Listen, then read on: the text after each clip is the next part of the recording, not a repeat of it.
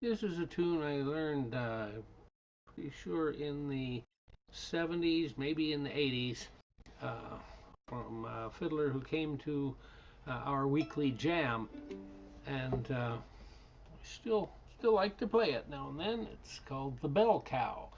Uh, Margie will be on the piano here.